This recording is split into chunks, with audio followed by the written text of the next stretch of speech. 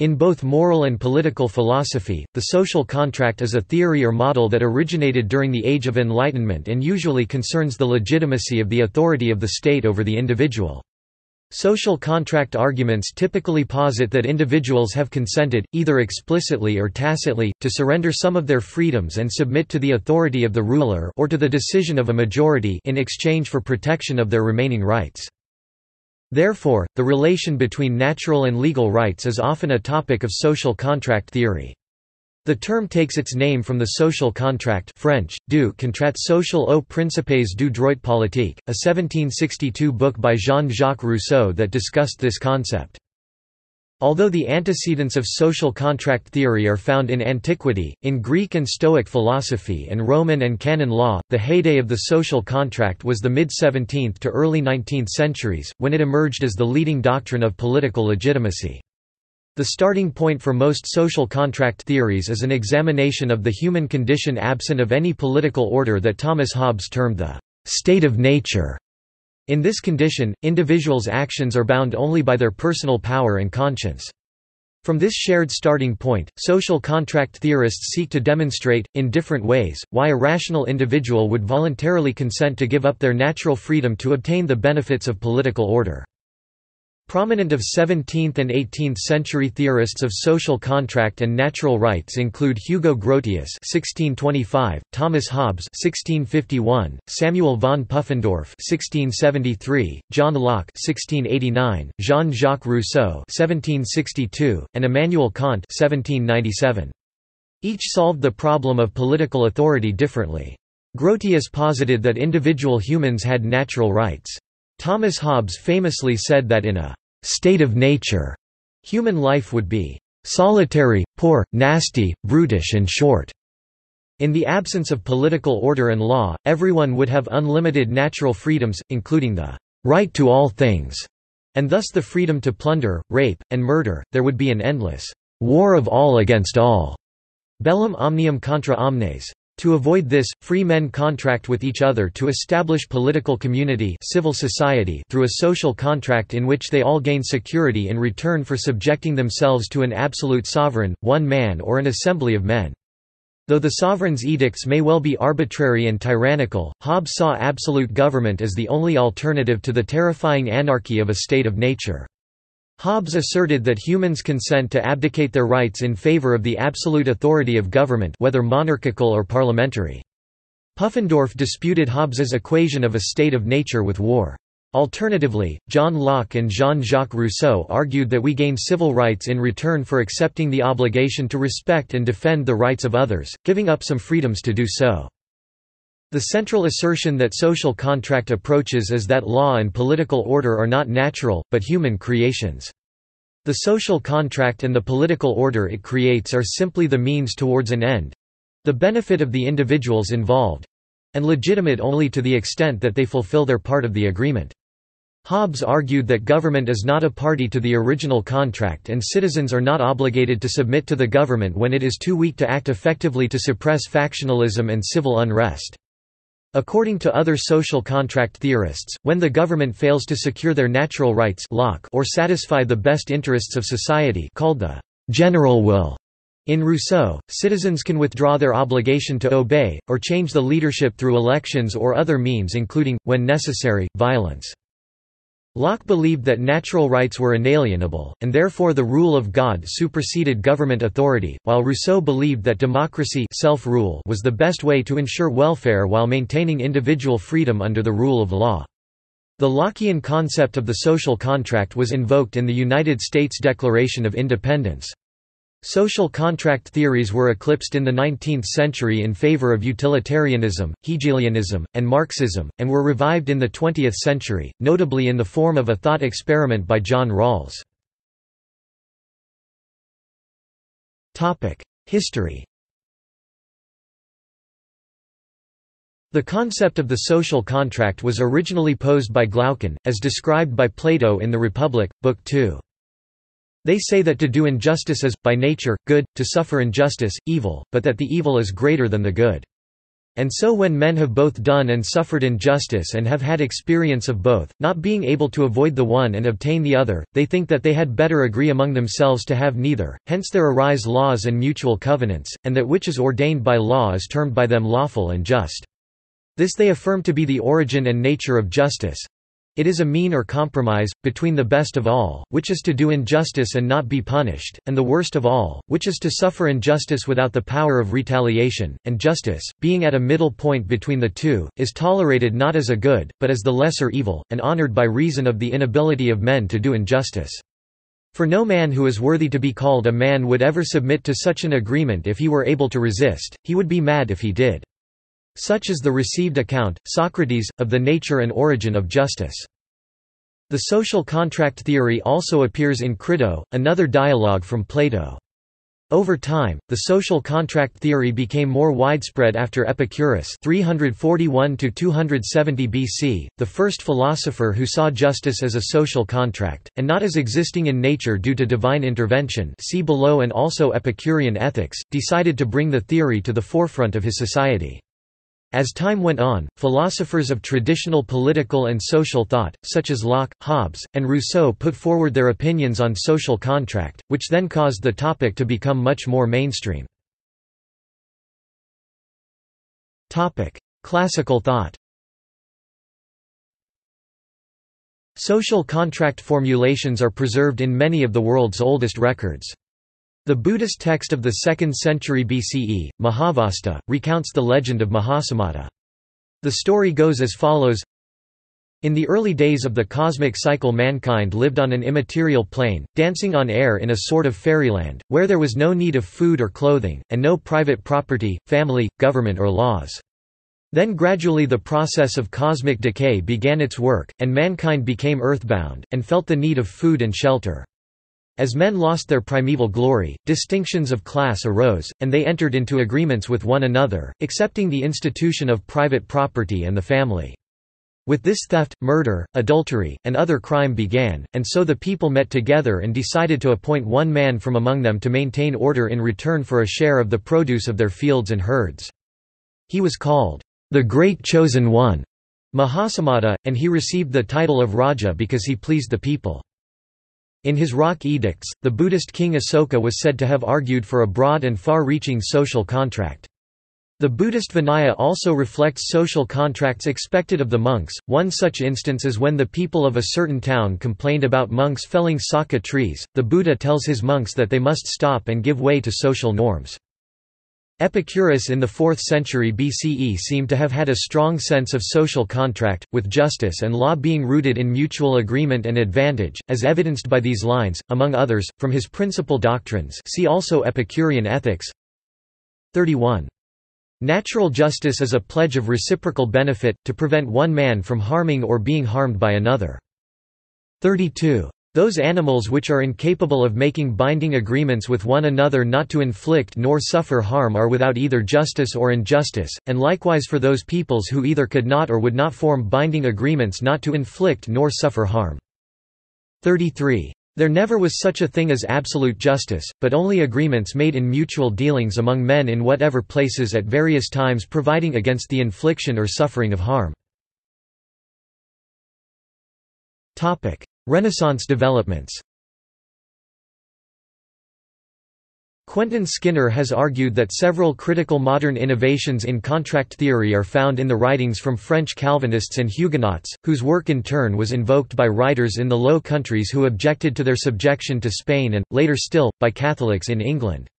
Francisco Suarez (1548–1617), from the school of Salamanca, might be considered an early theorist of the social contract, theorizing natural law in an attempt to limit the divine right of absolute monarchy. All of these groups were led to articulate notions of popular sovereignty by means of a social covenant or contract, and all of these arguments began with proto state of nature arguments, to the effect that the basis of politics is that everyone is by nature free of subjection to any government.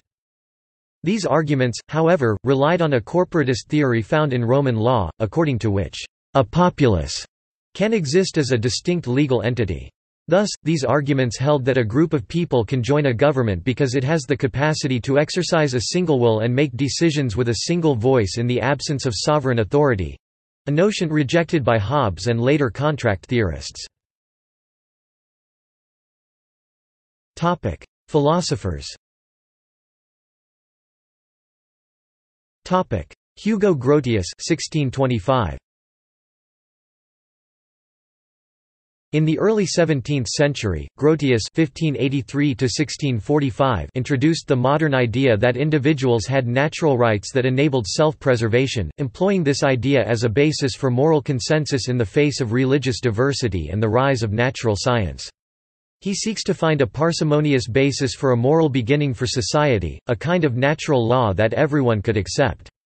He goes so far as to say in his On the Law of War and Peace that even if we were to concede what we cannot concede without the utmost wickedness, namely that there is no God, these laws would still hold. The idea was considered incendiary since it suggested that power can ultimately go back to the individuals if the political society that they have set up forfeits the purpose for which it was originally established, which is to preserve themselves. In other words, individual persons are sovereign. Grotius says that the people are sui juris under their own jurisdiction. People have rights as human beings, but there is a delineation of those rights because of what is possible for everyone to accept morally. Everyone has to accept that each person as an individual is entitled to try to preserve himself. Each person should, therefore, avoid doing harm to, or interfering with, another, and any breach of these rights should be punished. Thomas Hobbes Leviathan 1651. The first modern philosopher to articulate a detailed contract theory was Thomas Hobbes (1588–1679). According to Hobbes, the lives of individuals in the state of nature were solitary, poor, nasty, brutish and short, a state in which self-interest and the absence of rights and contracts prevented the social or society. Life was anarchic, without leadership or the concept of sovereignty. Individuals in the state of nature were apolitical and asocial. This state of nature is followed by the social contract. The social contract was an occurrence during which individuals came together and ceded some of their individual rights so that others would cede theirs. This resulted in the establishment of the state, a sovereign entity like the individuals now under its rule used to be, which would create laws to regulate social interactions. Human life was thus no longer a war of all against all. The state system, which grew out of the social contract, was, however, also anarchic without leadership. Just as the individuals in the state of nature had been sovereigns and thus guided by self-interest and the absence of rights, so states now acted in their self-interest in competition with each other.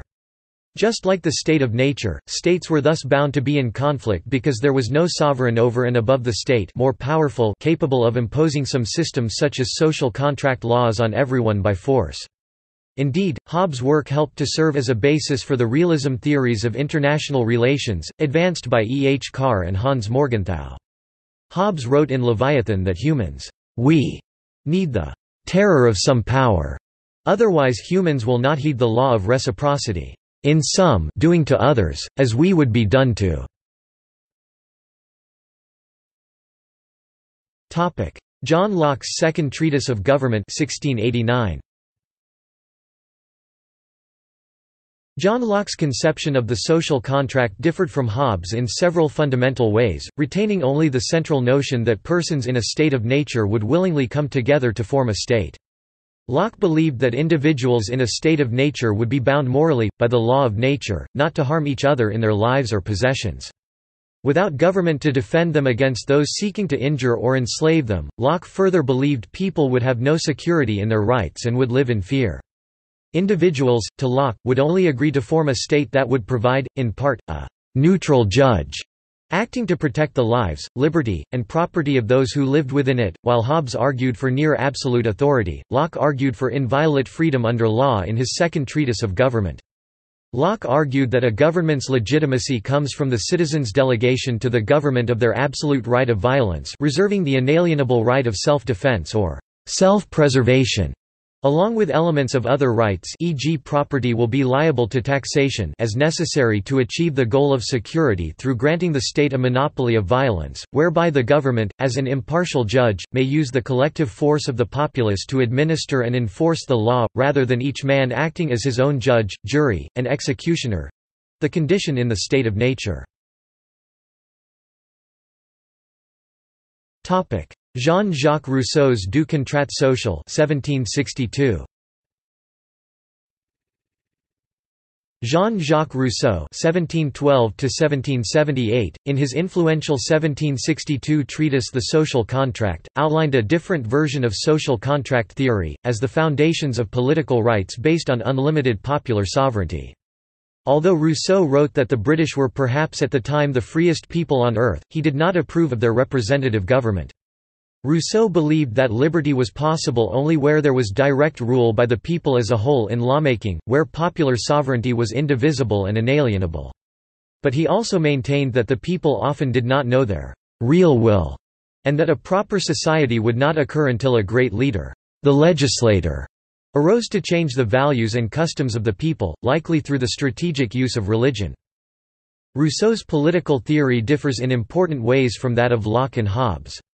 Rousseau's collectivism is most evident in his development of the «luminous conception», which he credited to Denis Diderot of the general will.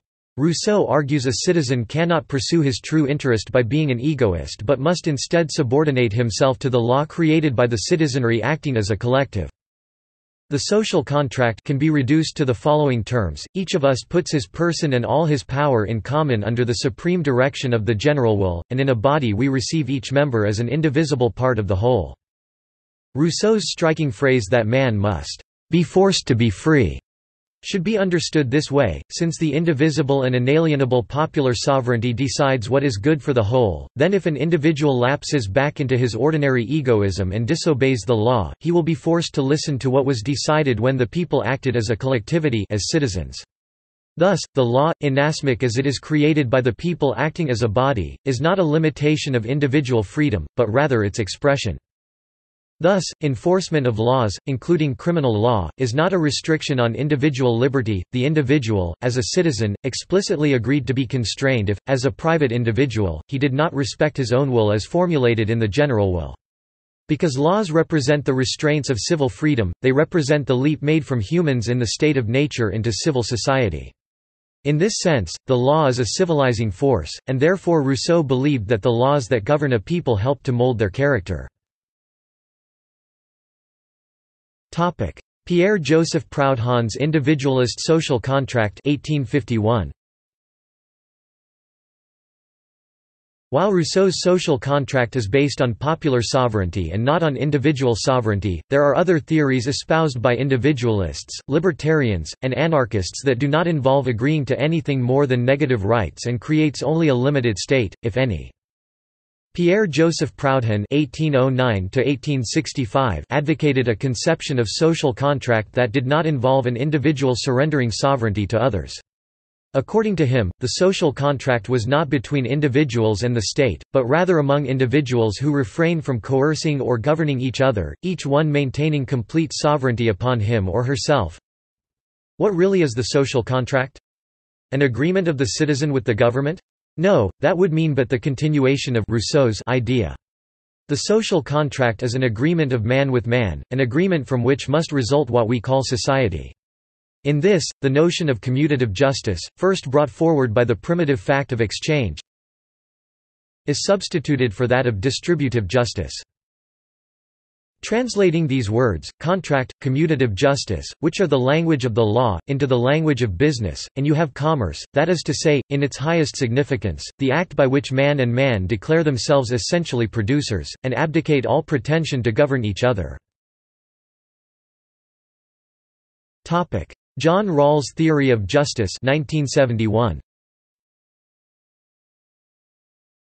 Building on the work of Immanuel Kant with its presumption of limits on the state, John Rawls (1921–2002), in A Theory of Justice (1971), proposed a contractarian approach whereby rational people in a hypothetical original position would set aside their individual preferences and capacities under a veil of ignorance and agree to certain general principles of justice and legal organization.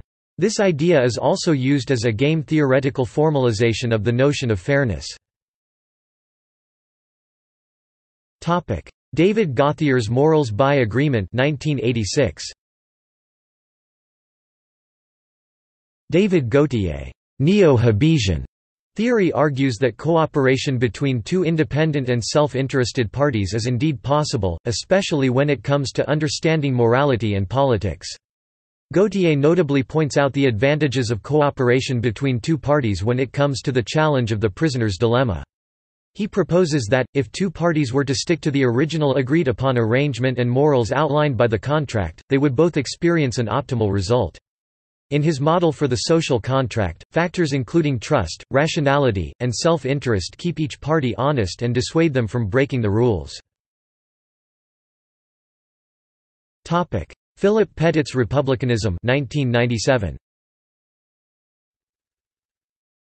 Philip Pettit B. 1945 has argued, in Republicanism, a theory of freedom and government 1997, that the theory of social contract, classically based on the consent of the governed, should be modified. Instead of arguing for explicit consent, which can always be manufactured, Pettit argues that the absence of an effective rebellion against it is a contract's only legitimacy. Critical theories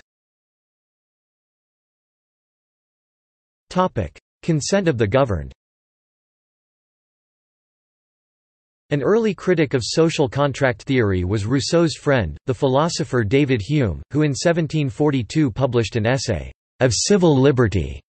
The second part of this essay, entitled, Of the Original Contract, stresses that the concept of a social contract is a convenient fiction, as no party, in the present age can well support itself without a philosophical or speculative system of principles annexed to its political or practical one. We accordingly find that each of the factions into which this nation is divided has reared up a fabric of the former kind, in order to protect and cover that scheme of actions which it pursues. The One Party defenders of the absolute and divine right of kings, or Tories, by tracing up government to the deity, endeavour to render it so sacred and inviolate that it must be little less than sacrilege, however tyrannical it may become, to touch or invade it in the smallest article. The other party the Whigs, or believers in constitutional monarchy, by founding government altogether on the consent of the people suppose that there is a kind of original contract by which the subjects have tacitly reserved the power of resisting their sovereign, whenever they find themselves aggrieved by that authority with which they have for certain purposes voluntarily entrusted him. Hume argued that consent of the governed was the ideal foundation on which a government should rest, but that it had not actually occurred this way in general. My intention here is not to exclude the consent of the people from being one just foundation of government where it has place. It is surely the best and most sacred of any.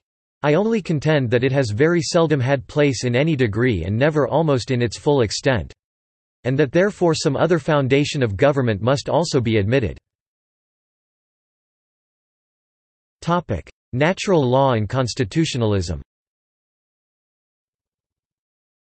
Legal scholar Randy Barnett has argued that, while presence in the territory of a society may be necessary for consent, this does not constitute consent to all rules the society might make regardless of their content. A second condition of consent is that the rules be consistent with underlying principles of justice and the protection of natural and social rights, and have procedures for effective protection of those rights or liberties. This has also been discussed by O. A. Brownson, who argued that, in a sense, three constitutions are involved. First, the constitution of nature that includes all of what the founders called natural law. Second, the constitution of society, an unwritten and commonly understood set of rules for the society formed by a social contract before it establishes a government, by which it does establish the third, a constitution of government. To consent, a necessary condition is that the rules be constitutional in that sense. Tacit consent The theory of an implicit social contract holds that by remaining in the territory controlled by some society, which usually has a government, people give consent to join that society and be governed by its government, if any. This consent is what gives legitimacy to such a government. Other writers have argued that consent to join the society is not necessarily consent to its government. For that, the government must be set up according to a constitution of government that is consistent with the superior unwritten constitutions of nature and society. Explicit consent The theory of an implicit social contract also goes under the principles of explicit consent. The main difference between tacit consent and explicit consent is that explicit consent is meant to leave no room for misinterpretation. Moreover, you should directly state what it is that you want and the person has to respond in a concise manner that either confirms or denies the proposition. Voluntarism According to the will theory of contract, a contract is not presumed valid unless all parties voluntarily agree to it, either tacitly or explicitly, without coercion. Lysander Spooner, a 19th-century lawyer and staunch supporter of a right of contract between individuals, argued in his essay No Treason that a supposed social contract cannot be used to justify governmental actions such as taxation because government will initiate force against anyone who does not wish to enter into such a contract.